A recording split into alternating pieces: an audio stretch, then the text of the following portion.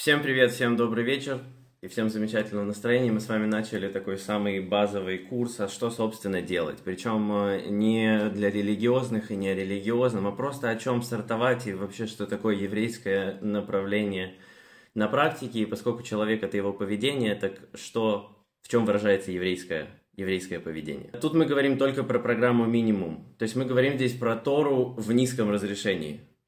То есть, знаете, когда вам на, на экран выводится изображение, оно как бы такого разрешения не очень, но все, что происходит, понятно. Мы здесь говорим о таком, для совершенно для начинающих. Будем говорить не о том, как там соблюдать или что-то, вообще для прям вот самых, как просто сдвинуть, если я на нуле, то как сдвигаться с нуля. И тоже я хочу показать, что есть очень много вещей очень простых, есть очень много вещей, которые вы уже делаете, но просто об этом не знаете. Это первое, мы здесь про программу минимум. Второе, э, мы здесь будем говорить про порядок какого-то продвижения и про ошибки людей в этом, о чем мы говорили в прошлый раз, что одна из самых больших таких вот глюков в человеческих головах, это то, что они выводы делают о э, как бы о Торе, об иудаизме, как, в общем, как это не назвать, из людей. Но приходя в мир еврейских людей, люди видят что? Люди видят ну, самое первое, наверное, это, я не знаю, допустим, вот штраймелы, да, и черно-белое вот этот, черно-белый мир вот такой. Э, и что еще видят, не знаю, какие-то кипы, синагоги, вот это все 90% всех вот этих вот вещей, это не как бы ядровые ключевые вещи, это заповеди, это какие-то что-то обычаи, что-то заповеди по мудрецам. Мы здесь будем говорить только о самых ключевых вещах, потому что человеку, который, мы с вами говорили, что вот эти заповеди мудрецов это буферная зона, но человеку, который вне этой темы, ему нужно узнать, что там в ключевых, как бы ключевые основные, ключевые основные моменты и начинать потихонечку, потихонечку э, с них в том, где, в том, где он может. Так, э, теперь на человека, как бы, первое вот это впечатление, всего вот это 90% чего он видит, оно производит впечатление такое, может быть, ой, сколько всего, и все какое-то непонятное, а по-настоящему это все, э, как бы, он видит, ну, люди видят э, фантики, они видят какие-то очень внешние слои, часто не разбираясь в том, что внутри, вот это впечатление ошибочное. И в плане кашрута мы тоже сейчас э, будем немножко говорить про кашрут, так э, в плане кашрута мы тоже это, там я покажу это на примере. Окей, продвижение только маленькими шагами. Э, что это обозначает? Это обозначает, что снова у людей мы говорили о том, что э, часто мировоззрение такое очень черно-белое. То есть или, или да, или нет. Или я окей, или не окей. Или соблюдение, или не соблюдение. Работает, я думаю, система совсем не так. Если ты сейчас находишься на уровне, что ты не соблюдаешь шаббат, то твоя, э, и, допустим, куришь, то твоя заповедь сейчас, прям вот твои отношения с Богом равно посчитать, сколько сигарет ты э, кури, куришь в шаббат, и, и в следующий скурить на одну меньше. И вот в этом будет, твой, будет прям твоя заповедь, и будет, будут твои личные отношения с Богом. И в этом и будет вообще вся твоя Тора для тебя. И это очень круто, и это очень важно, и это очень ценно. Вот, это очень важная штука такая, которую надо понять, про которую я буду здесь говорить. Дальше, значит, не кошерная, вот, ну, или, то есть есть как бы вот зеленая зона, да? Мы уже говорили, мы здесь будем говорить не про зеленую зону, но там вот в незеленой зоне там очень много вариаций. И не кошерное оно бывает разное, но любой адекватный человек, он выберет то, что лучше. То есть, например, то есть есть проблема, допустим, назовем слово такое страшное, проблема. Скажем там, не кошерно равно ну, э, кошерно значит пригодно. Может быть пригодное или непригодное поведение. То есть это вообще не относится только к еде, это относится в принципе. Что-то годное или не годнота. Э, теперь проблемы могут быть совершенно разных уровней. Может быть проблема, что там, не дай бог, умер кто-то близкий, и может быть проблема, что ты срываешься с крыши. А может быть проблема, это как бы проблема, проблема. Может быть проблема, что у тебя там жужжит комар э, над ухом, и ты никак не можешь его э, убить. Так вот, э, и он мешает тебе спать. Любой человек, он бы предпочел как бы комара, а не те проблемы, которые я перечислил выше.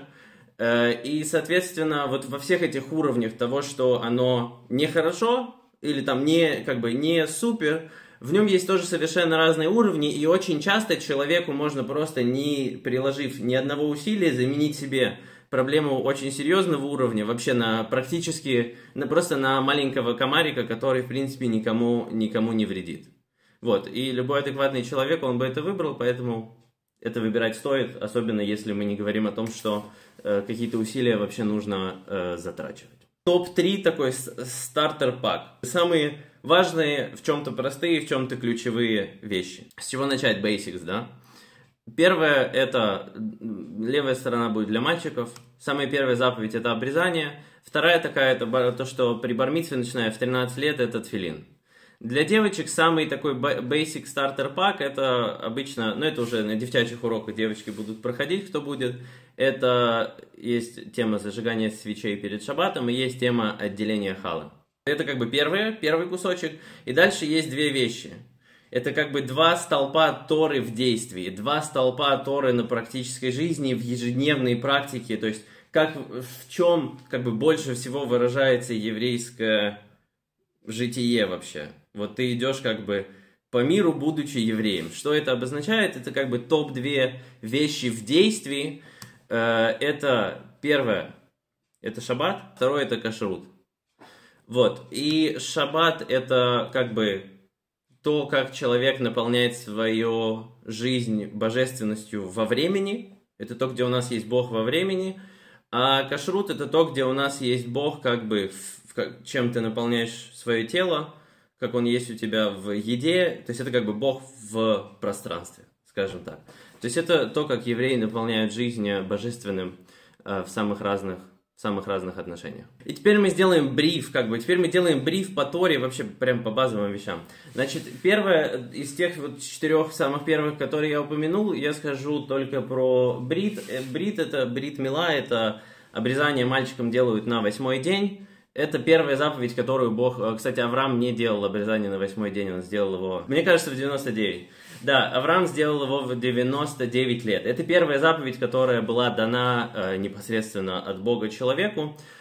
Э, эта заповедь, она... Это прям сейчас очень коротко так. Э, она, во-первых, она очень простая, одноразовая, и самому ничего делать не надо.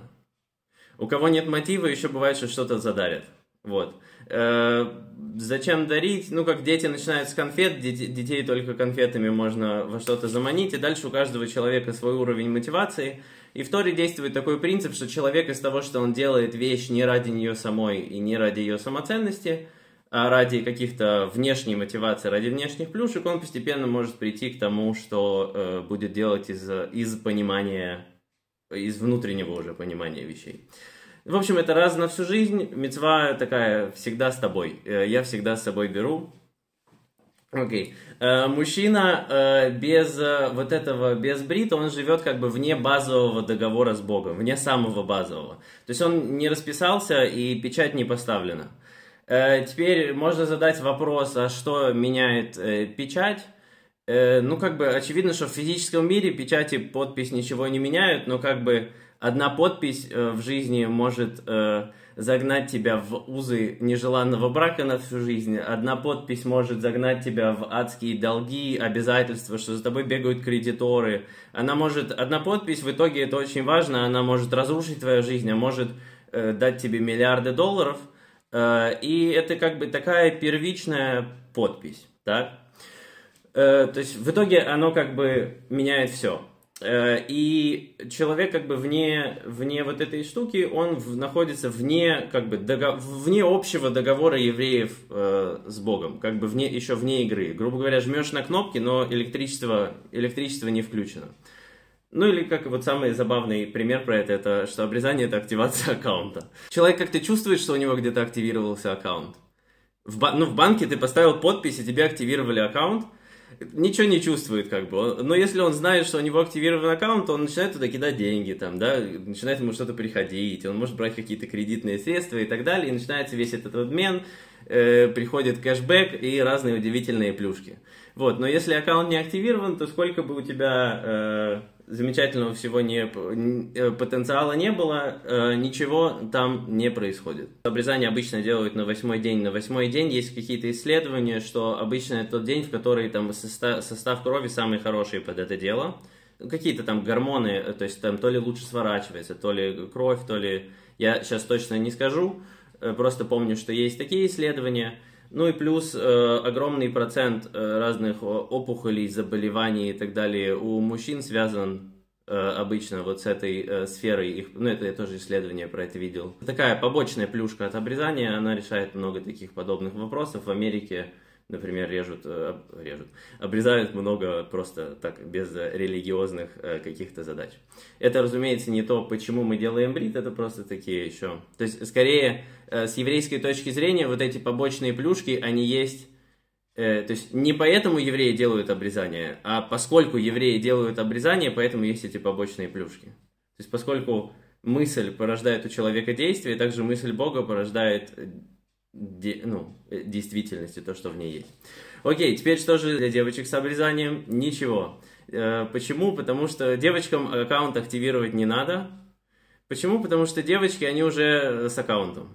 Э, по, по рождению они уже с аккаунтом. Почему такая несправедливость у нас, у евреев? Потому что, ну так вот вышло, что вот есть граждане Объединенных Арабских Эмиратов, им как бы повезло. Вот, у них уже аккаунт открыт, и э, ништяки уже там их лежат и ждут. Вот девочки в отношениях с Богом, они на более глубоком эмоциональном контакте, лучше видят это в повседневной жизни, э, и, соответственно, э, девочки в отношениях с Богом, так же, как граждане ОАЭ э, в отношениях со своим государством. Я вас поздравляю. Э, окей. В общем, самое первое, э, самое первое, аплодисмент. Значит, самое первое это, итак, активация аккаунта. Это для, если для мальчиков. Дальше второй знак, э, второй знак для каждого еврея, знак номер два, это шаббат. Вот. О чем он? В общих чертах, да, то, что Бог все сотворил, что мир создан, он не взялся из ниоткуда, это не случайное какое-то событие, то есть в нем есть причина, есть цель и есть, э, то есть у каждого человека есть в этом мире определенный путь, которым ему определен, э, есть Всевышний, который все это устроил, и шаббат это свидетельство своим поведением каждую неделю, что это так. Окей. Э, это чуть-чуть про шаббат, и потом второе, вот эта вторая как бы основа, про которую мы сказали, два, два столпа. Первый шаббат, второй кашрут. Шаббат это про базовые убеждения, а кашрут это про то, что как бы когда ты по миру уже двигаешься, это чем ты заливаешь свой бак. На каком бензине ты едешь. Вот, это такие две базовые вещи. Теперь э, про вот эти два столпа, столба, столпа, что еще мне нужно сказать. Э, шаббат, самое базовое, вот прям стартер-пак внутри шаббата. Там много всего, но самое базовое, что вот как бы ключевые, самые важные вещи, это огонь, наверное, да, зажигать огонь, э, использовать электричество, перенос вещей. Ну, в карманах там или что-то. Вот это как бы три, три ключевые такие вещи, прям вот если в, в, низком, в низком разрешении. Э, про кашрут основные моменты это что? Тоже две вещи можно выделить, наверное. Некошерное мясо и некошерная рыба. Ну и самое простое, это ешь побольше овощей. Чем больше овощей, э, тем больше кашрута. Очень просто. То есть э, веган, он почти, почти, э, почти кошер, почти ест кошерное все. Окей, значит, и теперь вот после этих, ну, мы как бы сказали с вами опять какие-то предисловия, сказали с вами базовые вещи, такие, с чего начинают мальчики бритмила и что? Бритмила и тфилин, девочки есть там, ну, видите, у мальчиков такой же скачок чуть-чуть, да, какие-то там черные ремни на себя, там, что-то резать. А у девочек там свечку зажгла, э, там, кусочек теста отделила, ля-ля. В общем, все. Э, иудаизм, он такой, очень э, любит девочек. Хорошо, значит, э, и два столпа. Это был кашрут и шаббат. И сегодня мы, э, сколько у нас есть времени? Пол, вот, полчаса на кашрут, замечательно. Кашрут за 30 минут или меньше. Здесь э, будет не про то, как играть в баскетбол, а про то, как бы, как забивать GPS до баскетбольного поля. Дальше баскетбол можно быть, можно быть зрителем, любителем, профессионалом. Тут мы обсуждаем только вот как бы, типа, где парковка там, ну вот такие всякие вещи. Э, вокруг да, вокруг да около. Э, то есть, что из некошерного более кошерное, скажем так, или то, что как бы кошер, ну или то, что я рассказывал с чизбургером. Итак, базовые вещи про кашрут. Первое это мясо и рыба, и второе есть больше овощей. Окей. А теперь хочу некоторые предисловия про кашрут. Значит, э, есть три заблуждения, мне кажется, топ-3, которые можно вспомнить. Если у вас сейчас возникают вопросы, вот здесь э, прям по, любому наименованию спрашивайте, это будет очень позитивно. Значит, э, ну сначала маленькие предисловия. У людей, люди живут в таких очень интересных вообще каких-то собственных историях. Одна из собственных таких интересных, удивительных историй, это, ну, такой миф, заблуждение, что кашрут, это, например, не есть свинину, да, и человек говорит, я, ну, я ем кошерное, да, я не ем свинину. Это как бы, так говорят люди, которые, ну, вообще не знают, что такое кашрут. То есть это, это примерно ответ, знаете, э, третьеклассника о том, что такое отношения. Он отвечает, отношения – это дарить цветы или целовать в щечку. Ну, посмотрим, что ты расскажешь, когда тебе будет 35 и 10 лет совместной жизни и трое детей. Вот, то есть вот это примерно ответ про не есть свинину. А второй вариант, это вот, ну вот это люди вообще как бы на нуле, да, еще. А потом есть следующая стадия, и она тоже такая бредовая. То есть первая стадия, она такая, там, ой, я не ем свинину, это кашер, все кашрут. А вторая стадия, она в другую крайность. Вторая стадия развития Homo sapiens в, в кашруте, она такая, что те, кто столкнулись уже с еврейским миром и увидели его как бы весь, но еще ничего не поняли, но подумали, что они все поняли. Вот, и у них возникает ощущение, что ничего нельзя. Вот то, что все можно только с каким-то знач значком, значит, на пачке, только в кошерном магазине эти бедные соблюдающие, они несчастные люди, которые страдают, живут чуть ли не в посте, живут на, я не знаю, на воде и на маце, и, в общем, и жизнь их тяжела очень. Вот, э, это похоже на ответ восьмиклассника, которому, знаете, которому, который не знаю, влюбился, ему отказали, и он очень огорчился. Вот что такое такая реакция, да? Обратная реакция. Это тоже такая очень, очень поверхностная. То есть это, это говорят люди, которые знают чуть больше, чем первые, но, но не намного. Окей. Э, и теперь еще маленький момент тоже, что есть, то есть вот это крайности какие-то. По-настоящему в любой сфере в еврейских, э, в еврейском как бы законодательстве, в еврейском подходе. Есть э, кошерное, это не одна тропинка, это коридор такой, широкий коридор. То есть, например, там, если брать про молоко, ну вот просто первое, что мне приходит в голову, да, молоко можно просто, ну вот в России точно так покупают, в здесь тоже можно просто вот молоко ГОСТовское, ну ГОСТ, как это в Украине тоже ГОСТ это называется, да? Ну, э, типа по... Ну вот... А? ДСТУ. Ну, в общем, вот этого фабричного производства, вот это вот просто молоко коровье, вот просто вот, в принципе, любое. Вот. Это как бы, ну, вот начало коридора кошерности. И потом есть как бы а, самые там белые, самые там пределы, то что, что там молоко должно быть только, значит, э, только что, что за дойкой, ну или за производством следит э, еврей, который следит, как там все происходит. И, да, и как бы, то есть есть, даже в кашруте есть очень как бы большой э, этот, э, ну как бы коридор, да, понимаете, о чем я говорю. Не одна тропинка. А, и третье заблуждение. Первое, забл... то есть первое это то, что я ем свинину, я ем кошерное. Второе это то, что, боже, кашрут это все нельзя и все только с экшером э, только с какими-то непонятными значками. А еще вот тоже веселый вопрос, это э, халя, если я ем халяль, это как бы более кошерно, да? Вот. Э, халяль знаете, что это, да?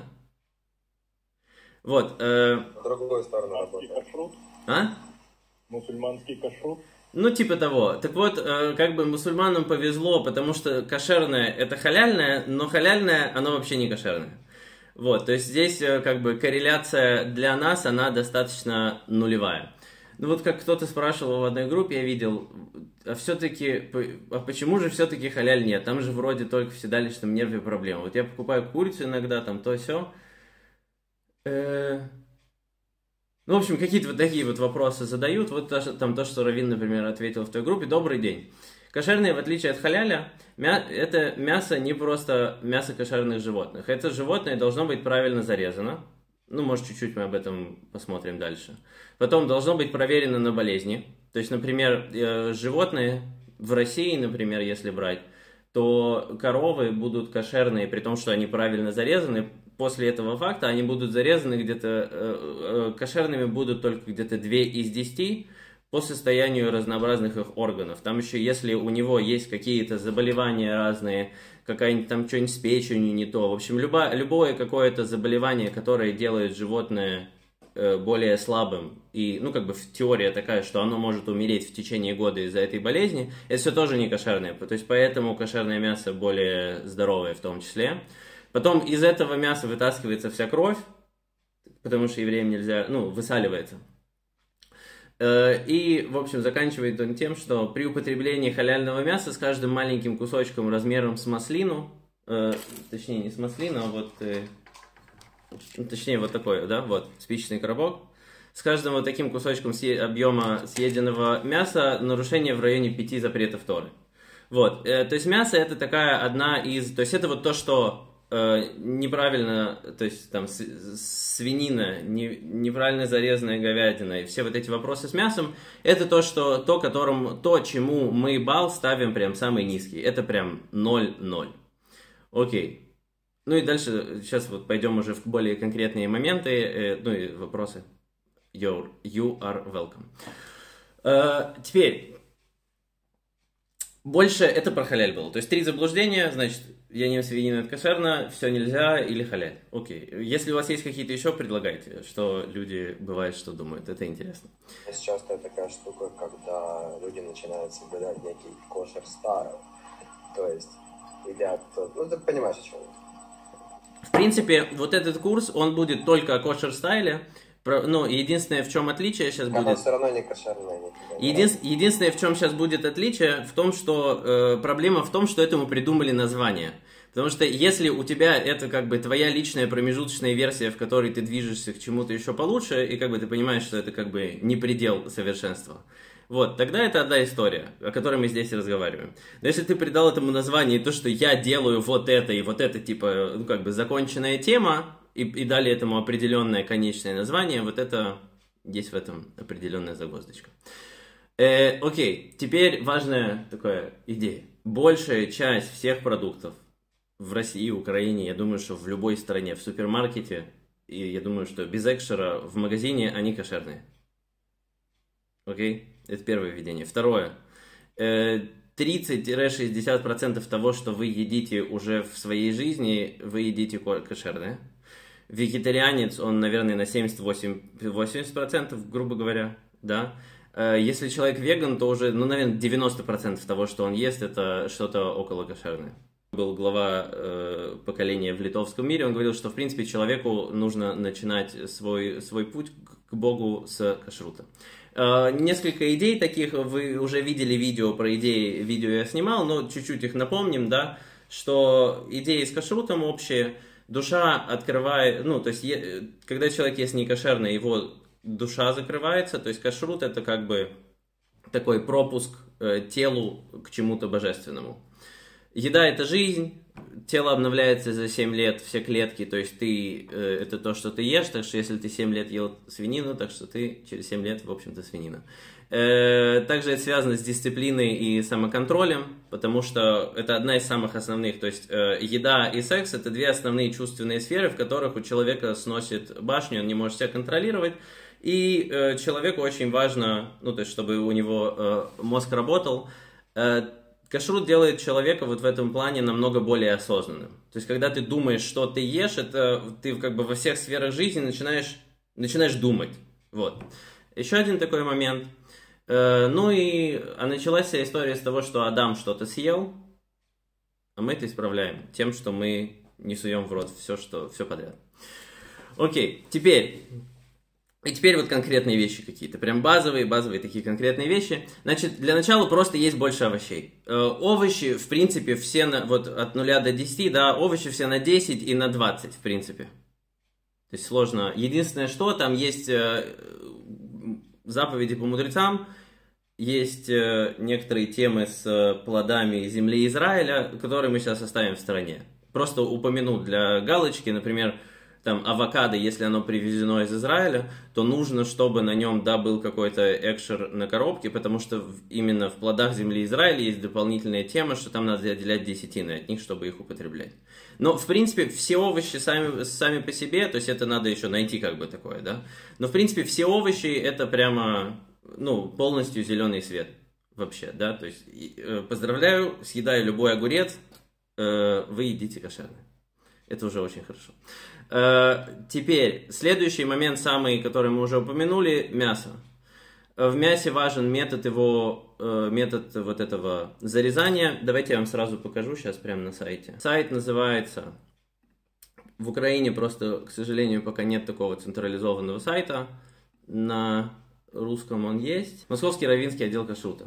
Здесь вот все разделы, да, главное, законы кашрута общие, да, вот если сюда зайти, вот это самая известная книжка, путеводитель по кашруту, как бы все базовые здесь можете посмотреть, ну, как бы здесь по всем основным вопросам. Теперь вот я вам сказал про мясо, вот видите, это ножики, причем здесь они черные, не знаю, обязательно так должно быть или это для красоты просто. Э, теперь это называется шхита с мясом. Оно должно быть зарезано определенным образом, Э, есть такая вот штука, знаете, вы когда режетесь, это считается самым гуманным способом э, за, за убоя животных, при котором меньше всего адреналина и так далее. Знаете, вы когда режете, ну, чем-то таким, ну, э, палец, то это больно. Но если порезать там тонким листом бумаги или чем-то очень острым, то ты можешь не почувствовать кровь или можешь вообще почувствовать, что ты порезался только когда уже, ну, увидел, что порезался. У меня такое бывало. Вот, э, теперь там идея такая, что э, если э, вот этот человек, который это делает, он должен быть очень богобоязненным, и там должен нож быть очень, э, очень тонко, очень хорошо заточен, э, это делается там одним движением, и идея в том, что там перерезаются сразу все главные артерии, э, и давление крови от мозга спадает, и животное, оно умирает раньше, чем оно успевает что-то почувствовать. Вот, то есть это такая вот Такая вот история. Ну и вот здесь там три ножа они показывают, да. Основное, зачем я вам открыл, просто показать, что здесь есть, да, вот, например, список продуктов. И зайти, например, здесь в бакалейные товары. Вот, например, вот это самое, так, шоколад. Здесь по Украине я тоже видел такой же. В общем, например, если орбиты, да, то, ну вот все, которые простые и белые, они и в Украине, в Украине тоже кошер. Про остальные я не знаю, я просто не, не углублялся, но эти списки есть, если кому-то интересно я найду, могу послать. Дальше смотрите, ну просто вот я сказал, да, что большая часть, она, э, э, это кошерные вещи. Вот если просто даже по сладкому идти, да, тублерон, ну, практически все, и тублерон, они только одной фабрики есть, вот кроме одного какого-то, которого я даже не видел никогда. Феррера, любого европейского, любого европейского производства, тут смотрите, тут все киндеры, киндер макси, в общем, все киндеры здесь находятся.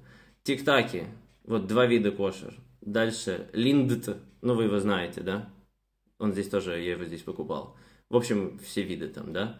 Ментосы из Нидерландов, они здесь продаются, я их находил. Риттерспорты. Э, Марсы, Сникерсы и так далее из Нидерландов. В России еще были российские тоже. Марсы. Здесь написано, что именно из России. Э, надо проверить. По-моему, Марсы, которые здесь нидерландские, они тоже с ними все хорошо. Все Milky Way, в общем, M&M's'ы. То есть, э, в общем, у вас, если вы любите какую-то шоколадку, вы всегда можете найти какую-то... То есть, если вы хотите шоколадку, и у вас перед вами лежит там вот, вы заходите в любой супермаркет, перед вами лежит две шоколадки, вы всегда как бы без затрат, без усилий и без, без вообще, без любых потерь можете просто вот так руку вот так сделать на 2 сантиметра, взять другую, и вы съели что-то кошерное, а не что-то не кошерное. То есть это, ну, то есть это просто элементарно. Просто чуть-чуть ознакомиться вот с этими списками kasher.ru. Э, это тоже как бы, там не все обязательно применимо, там надо смотреть как бы производство и не всегда все применимо точно к Украине, но как бы общее представление, общее представление это вам даст. Так, окей, э, про мясо чуть, э, чуть рассказал, дальше... Вот. И каждый кизайт такого мяса это как бы минус 10 в, в баллы. Очень негативная вещь. Дальше вы знаете, что еще по Торе, с чем такие самые известные проблемы. Я не знаю, есть ли смысл большой обсуждать насекомых. Кто-то ел насекомых хоть раз? Но только когда муха случайно в глотку залетела, я думаю, что это как бы самый единственный случай. Ну, бывает какая-то мошка. Ну, надо держать рот закрытым в этой ситуации. Я думаю, что э, когда ты, ты вдруг оказался в Таиланде, я, у меня просто там есть знакомый, он там ел жареных тараканов в этом. Сказал, на вкус, в общем-то, как ну, похоже на курицу, типа не супер, но похоже на курицу, в общем, как-то. Но я думаю, что можно удержать себя и не съесть. Я думаю, что ничего не, не сильно не, не, не отломается от того, что ты не съешь этого таракана бедного все тебе галочка в, в жизнь в твою, в отношении с Богом. Я думаю, что как бы во взвешивании, в простом взвешивании Бог против таракана, э, как бы Бог э, звучит лучше. Э, окей. Дальше. Что еще есть? Про рыбы мы говорили. Вот э, Мила когда-то где-то спрашивала, где-то меня спрашивала, в Буковеле ты меня спрашивала. Э, что про рыбы? Рыбы очень просто. Мы едим рыбу какую? Классическую. Рыба, вот, рыба-рыба. Такая, рыба вот, рыба. Что у рыбы рыба должно быть? У нее должны быть, это тоже на том сайте вы можете все по базовым вещам почитать. У нее должны быть чешуя и плавники. Теперь получается, что сюда входит любая там вот эта упакованная красная, мало, это, там, полузасоленная или стейки незасоленные там какие-то нарезанные. Красная, красные вот эти все рыбы, лососи, семги, кто там, сибасы, э, ну, если целые, да, тоже. То есть, вот, в общем, все, что с чешуей и плавниками, а уплывают мимо евреев. Кто, соответственно, из таких, из рыбоподобных самы, ну и все, к сожалению, это как бы самая моя большая боль, потому что любимое у нас было э, на свиданиях когда-то, э, это было креветки в кляре. Ну вот креветки уплыли из моей жизни, ну я не, не сильно плакал. Вот креветки и лобстеры уплывают. Вот. Э, это по рыбе. И это как бы основные такие вещи. То есть насекомых мы особо не едим, в отличие от некоторых. Э, и вот мясо и рыба это как бы топ такие вещи. В любой раз, когда вы можете где-то там Э, ну вот мы сейчас дальше дойдем, да, когда перед тобой лежит какой-то выбор. Дальше сыры. Желтые сыры, они все э, будут, э, это будет проблема мяса с молоком, потому что закваска, она в обычном сыре, она всегда какая? Э, животная такая закваска, соответственно, это мясо с молоком. Но здесь в Украине есть, например, сыр Филадельфия, белый вот этот, да, он, э, он э, кошерный. Тофу, они есть прямо с, со знаками кашрута. То есть вот такие вот всякие белые варианты э, есть. Окей, есть еще вопрос с э, кровью. Ну, в принципе, если вопрос с мясом закрыт, то единственное, где с ним можно столкнуться, это с яйцами. В, в, в вопросе, как, когда ты делаешь себе яичницу. Как решить этот вопрос? Очень просто. Покупаешь белые яйца. В коричневых яйцах там всегда как будто из дробовика в него выстрелили, и там такая, в общем, какое-то что-то такое красненькое плавает. А в, в белых яйцах там я ни разу ничего не находил. То есть там очень сложно что-то найти, но евреи всегда смотрят, в общем, внутри. Э, окей, мясо с молоком. Опять же, окей, это я даже дальше скажу, когда мы дойдем до Макдональдсов. Ну, в общем, все вот эти вот мясные и сырные моменты, это прям плюс тысяча очков, и это 90% кашрута. Дальше, выпечка. Ну, теперь, если чуть-чуть уже заходим в вопросы заведений, да. То есть, я просто человек, который там что-то там, он, ну, типа, еврей, э, ему еврейство прикольно, я хожу там в какие-то заведения и так далее. Э, и, то есть, мы говорим сейчас не про... В общем, я не хочу опять это оговаривать, в общем, вы знаете, про что мы говорим. Теперь, если у меня есть как бы выбор, да, вот, например, заведение с выпечкой, в котором есть там слойки с какой-нибудь ветчиной, или в заведение, где их нет. Разумеется, лучше пойти туда, где, ну, как бы, этого нет да, где, где просто, то есть это уже плюс и уже какая-то галочка. Без маргарина там еще лучше. Если это какая-нибудь веганское заведение, выпечка оттуда, это еще лучше. Это уже что-то близко, что-то близко к десяточке. Окей. Хлеб. Хлеб по составу мы обычно смотрим. Если там нету какого-то большого списка Е, а простой состав, то в обычном магазине тоже можно покупать хлеб. Окей, ну, на таком, на, на, базовом, на базовом уровне. Про сладкое я вам уже показал, списки очень большие. Про молоко я уже сказал в общем и целом, да. Питье, соки, лимонады. Ну, в общем, э, сложнее найти то, что не кошерно. Э, в общем, достаточно сложно найти то, что не кошерно. Большая часть всего этого соками только... Ну, мы как бы говорили, не будем говорить про вопросы по мудрецам. Есть там вопрос, что с виноградом есть Дарабонан некоторые вопросы, ну, поэтому там евреи не покупают виноградный сок, например, в магазине, ну, или что-то там, или с виноградным уксусом, что-то такое. Ну, это как бы, это так я в скобках просто сказал для справки. Э, кетчупы есть, э, например, Хайнц из Нидерландов, он продается, вот, например, на рынке у меня продается, в магазине продается. Э, еще какой-то есть, по-моему, чумак. Это я не отвечаю сейчас за, за, за базар, но, по-моему, то ли чумак, то ли... Я не помню. В общем, есть еще какой-то кетчуп, например, в Украине, в России тоже есть свои. Алкоголь. Э, любой вид есть кошерный в, больших, в большом количестве наименований. Э, ну, то есть, любой там виски, и, там, егермейстер, рома, пироль. Э, ну, то есть, любую водку, э, водку нужно постараться, чтобы найти некошерную. Пиво нужно постараться, чтобы найти некошерное. Э, ну, и опять же, вот только, опять же, в скобочках по мудрецам есть какие-то вопросы с ну, это опять отдельная тема, там вино, коньяк, мартини, все, что на этом самом, на винограде. Мед. Ну, просто вот обычный мед его можно. Так вышло. Ну, там есть, как бы, может, какие-то э, сбоку детали, но не будем о них. Э, и теперь в такие в серые зоны больше залезем, да? Например, там человек, если он ест э, ролтон, да, например. Вот. В чем, например, с ролтоном проблема? С ролтоном может быть проблема, там есть яичный порошок, но это как бы уже тоже не патория, а там как бы это уже слож... более сложные вопросы. И там его количество меньше 1,6. В общем, Э, но с чем там, например, может быть проблема, это с э, приправой. Она там, там прям, ну, как бы там есть курочки и всякая такая история. Э, вот, и, ну, то есть купить там тот же роллтон и, и засыпать туда приправу просто какую-то нейтральную, ты тоже молодец, аплодисменты. Вот. Ну, опять же, мы все говорим про очень basic уровень. Хорошо, теперь по заведениям как бы еще человек не, не переходит на кашрут, у него все ходят в Макдональдс, он тоже сам туда захаживает. Ну, в общем, окей, да, теперь вот про эту ситуацию мы разговариваем. Э, даже не, то есть уже в этой ситуации можно очень много сделать. Очень много сделать. То есть, э, то есть, например, есть курицу, да, то есть у тебя вот есть просто вот меню. Ты как бы, ты уже здесь, ты в этой ситуации. Но что-то вдруг внутри такое, так, я еврей. Ну вот я вам рассказывал, да, я переходил с этих там с, с чикенов, на, с чизбургеров на это. И если ты делаешь как бы это с каким-то уровнем осознания по какой-то причине, это очень, это очень как бы может очень драйвить, очень продвигать тебя дальше, очень заинтересовывать. И это очень круто.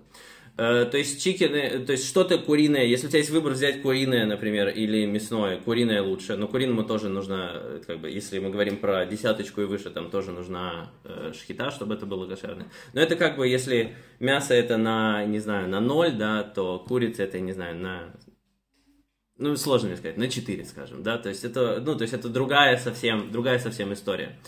Если мы говорим, как я уже говорил, да, там, вегетарианец или веган, он как бы, он уже 80, 90, 95 процентов вещей в его жизни, они кошерные, в чем э, могут быть вопросы с, с веган, с, то есть вегетарианское там побольше, да, каких-то, может быть, вопросов там есть, может, какой-то сыр, я не помню, что там есть, молочное там есть, да, то есть там может быть что-то. В, в веганском там есть вопрос, ну, отдельный вопрос по мудрецам, который мы не будем обсуждать. А, что там, да, может быть, это в теории там где-то могут быть жуки. Но если там, например, то есть, соответственно, это взять э, особенно, типа, из целых овощей, да, например, какой-то салат, с ним вообще нет никаких проблем. Жуки, как бы, ну, тоже, особенно если это зимой, то сложно купить что-то с жуками. Ну, капу... я имею в виду, там, капуста, трава, вот это все. Оно бывает, что можно там что-то удивительную, какую-то вещь найти.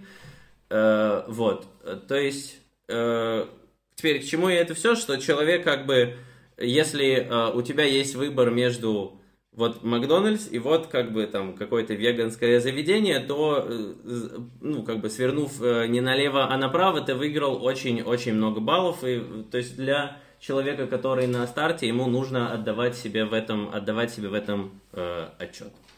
Окей, и, э, то же самое, например, если говорить про более такие э, легкие вещи в плане кашрута, это, например, там роллы, например, да, то есть, если это ролл без креветок, без морепродуктов, а просто вот это вот, э, ну, вот эта зеленая штука, там, рис э, и какая-нибудь там красная рыба, то это тоже вообще не чизбургер, как бы, и не гамбургер, и это, это уже намного, намного более, то есть там, ну, намного более легкие и позитивные э, вещи.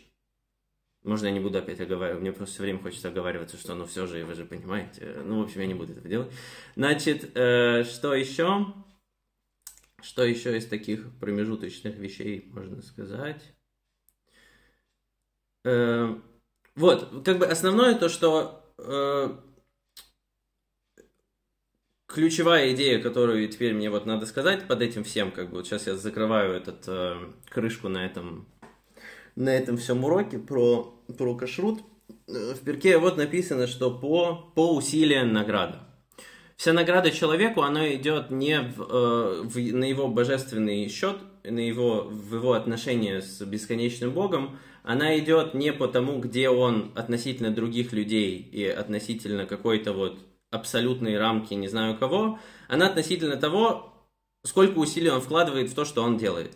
Теперь, если для тебя выкурить вот эту сигарету, это было усилие, и ты это сделал, выкурил на одну сигарету, сейчас шаббат меньше, или свернул от, э, от Макдональдса за, за, за роллами, а в роллах купил ролл не с креветкой, а с лососем, или свернул там веганское место, э, это как бы, это уже очень, э, это, это большое усилие, за которое идет то есть это, это как бы твой, твой вклад, это уже э, за это идет очень большая награда, и сложно сказать, что это сложно, сложно сделать. То есть человек, как бы, у каждого человека, вот выкурить сейчас на, эту, на одну сигарету меньше, это вся твоя, все твои отношения с Богом сейчас и вся твоя Тора сейчас. И самое главное, это дальше как бы двигаться маленькими-маленькими шажочками, э, все выше и выше. Э, теперь, в, что еще нужно сказать? В прошлые времена какие-то там, в советские особенно, да, это было, с кашрутом было, например, очень тяжело, то есть нужно было самому все готовить. Сейчас есть что в Киеве, не знаю, сколько есть кашер. Есть э, ресторан, да, несколько, один, по-моему, закрыли. Есть всякие кипиш, есть Руставели Шота, добро пожаловать в магазин большой в кошерный, есть на Подоле магазин маленький кошерный, есть э, в, там же, это дворец спорта, да, там же есть кафешка и с молочным, и с мясным. Э, на Подоле есть и ресторан, и есть пита кошер, аплодисменты. Значит, и что еще есть? Э, самое любимое заведение Киева, да. Э, есть еще, прям, а, там, кстати, чизбургеры, прикиньте, прям мясо с молоком, представляете. Ну, там кокосовое, разумеется, значит, э, сыр, но на вкус как в Макдональдсе, я чуть-чуть еще помню. Э, окей, и что, есть всякие кеттеринги, есть всякая выпечка, то есть э, вопрос вот этот закрыть э, достаточно несложно в нашей сегодняшней э, жизни. Ну и э, теперь повторю, с чего мы вообще все это начали. Как бы кашрут в самом низком разрешении, это как бы каждый раз, когда ты повернулся, отвернулся от некошерного мяса или некошерной рыбы, Э, или от э, хотя бы э, менее такого, от такого более конкретно мясистого заведения, это твой очень серьезный вклад в твои отношения со Всевышним на сегодня. И это очень важно знать, важно учитывать и важно всегда двигаться дальше. Ну, как то, что я рассказывал, что вот эти переход с чизбургера на гамбургер меня тогда достаточно сильно мотивировал. Окей. Хорошо, какие-то вопросы по конкретным моментам есть? Тогда задавайте. Может, мы что-то забыли? А, можно спросить? Давай. Ты говорил про виноградный сок. А да. А есть виноградное масло. Его можно или оно не, ну, типа, не считается Есть типа масло из виноградных косточек, типа, или даже из Мне кажется, что это тоже считается. Равлезер вы тут, да? Мне кажется, что это тоже... Ну, это, это проблем... вопрос э, по мудрецам, но мне кажется, что масло, оно тоже входит в виноградную эту историю даже типа из его типа косточек, то есть типа не из... Э, Любые продукты ну, из винограда. А из я не уверен в этом, надо проверить будет. Насколько а. знаю, нет, но надо будет проверить. А, окей. Хороший вопрос задаете. Да, но этот весь вопрос, он, это вопрос не, не истории, то есть мы здесь как бы собирались только по Торе, это вопрос, что э, обычно вино это то, что использовали в идолопоклоннических всех э, актах и возлива, возлияниях на жертвенников, и это как было такое отдаление от идолопоклонства. То есть проблема не в самом вине, а в том, как бы, что с ним ассоциировано. Так, еще какие-то вопросики, если есть, задавайте. Ну, по таким, по серым зонам. Вы же больше их нигде не зададите. Их на, на, в кошерных У есть еще очень один тупой вопрос, который мне просто я люблю, я люблю такие. Ты сказал, что нельзя есть насекомых. Да. А, туда, не, это, туда не относятся пауки, потому что они не насекомые. Это по... Можно, если есть пауков? Ну, ну по, да. по Торе, в общем, там вот в эту всю историю входит, я не перечислял, например, там всякие ящери, то есть туда входит все вот это ползучее, э, ну вот все вот это вот, э, вот эти все ящерицы, лягушки, э, тараканы, пауки. Ну, то есть, если там с точки зрения там какой-то биологии и каких-то видов, там, паук, он почему-то считается не насекомым, то я думаю, что, ну, вот из присутствующих мало кто знал, что какие-то биологи считают, что паук это не насекомый. Вот. Ну, в общем, в общем, он, у нас он в насекомых. Знает каждый человек, который учился в третьем классе, что-то слушал. Да, и кто это тогда такой паук? Арахнит. Ну, хорошо, тоже нельзя, в общем. Это отдельный класс. Хорошо, по- окей, тогда вот для меня он вид лобстера тогда, или рака тогда, ну хорошо. Окей. Ты говорил про яйца, э, что если там э, есть кровь, то Да. вот она непригодна. Она непригодная, в смысле, с него выковырять можно, или она А, вообще да, из, из коричневых яиц, да, из них можно выковырять, то есть из яблочка, в котором есть червячок, из него можно вырезать э, червячка и все, что вот вокруг вот такое вот э, там, ну, это, ну, лучше, понятно, другое яблоко взять. Из э, яйца из этого, из него можно это выковырить, но просто иногда бывает, что там такая одна красная точка, ее можно выковырить, а иногда бывают вот эти коричневые яйца, что там просто, ну, то есть оно э, такое все вот, что там ты будешь. Итан, с твоего позволения, Да. э, если кровь находится в желтке, то выковырить нельзя. А. Если в белке, то можно. А, я не знал, что она бывает в желтке даже ни разу. Ну вот в белых яйцах, я говорю, я ни разу, по-моему, вообще ни разу не нашел. Ну, я не помню. То есть чаще, понятно, у меня э, Йоха проверяет, но я сколько проверял, ни разу не видел. Ну, бывает. Все бывает, вот. Так. Хорошо. А Окей. если брать перепелиные яйца, По перепелиным. И Если яйца варят, то их не проверяют. Вот. Вареные яйца не в счет. Их, э, если жарят, ну, то есть ты его, когда разбиваешь его, так, ну, смотрят э, с разных сторон. Окей, вот такой у нас был за получасовой бриф. Еще какой-то вопрос, если есть? А, давай, Костя, спрашивай. Мне слово. Да, что? Костя, еще раз. Очень базовый вопрос. Давай. А почему э, это вопрос не от меня, но тем не менее. А почему э, другим народам вообще можно есть лобстеров, а нам нельзя? Ну, потому что мы особенные. Ну, должно быть что-то больше. Э, Хорошо, я подумаю, у меня нет вот так вот. Ты спрашиваешь именно про лобстера? Вообще. Окей, хорошо, мы подумаем об этом. Я тебе э, куда-то куда ответил. Потому что они дорогие. Это просто бережет наш карман. Окей, Это намного, намного очень важно для нас. да. Окей. Э, Часто просто такой я пока что базовый ответ дам. Во многих вопросах вы, например, можете, можете ответить э, там как бы про что у треугольника там три стороны и про какие-то свойства треугольника. Но в конце концов, когда вы доходите до вопроса, почему сумма углов треугольника, она всегда 180, э, вы как бы всегда упираетесь в какую-то точку, что после почему уже нету ответа. Про можно ответить общие, ну вот то, что я уже делал в том видео про смысл кашрута, общие вещи, почему это важно. Можно про каждый из видов, что, например, там вот эти все, там, э, которые в илу копаются, там, сомы и так далее, вот эти все э, креветки и так далее, они копаются в, э, ну, в общем, они едят как бы отбросы зна, вот эти все крабовые, они тоже как бы употребляют снизу. То есть э, это как бы один момент. Второй момент это то, что по Торе у каждого животного есть какая-то энергетика. То, есть, ну, тоже я в том видео говорил, да, что хищник, он как бы это одни качества. То есть у них очень... Птичка, она такая летает, там калибри, да, что-то нектар, нектарчик э, пьет.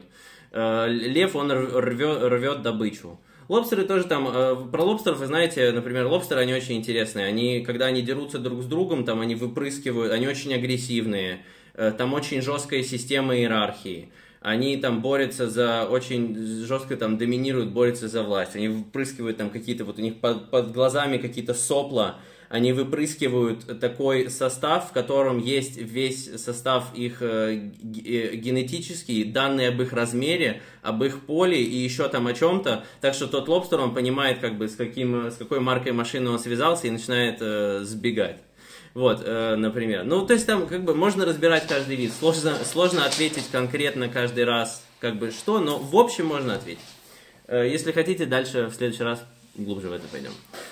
Все, я думаю, здесь надо закончить. Э, Вы, пожалуйста, еще вопросы, любые, люб- любые прям, которые есть, вы мне их присылайте, и я тогда буду их в следующие разы... Прям вот любые, самые глупые, я, э, глупые вопросы лучше всего. Все, все, тогда запись бай.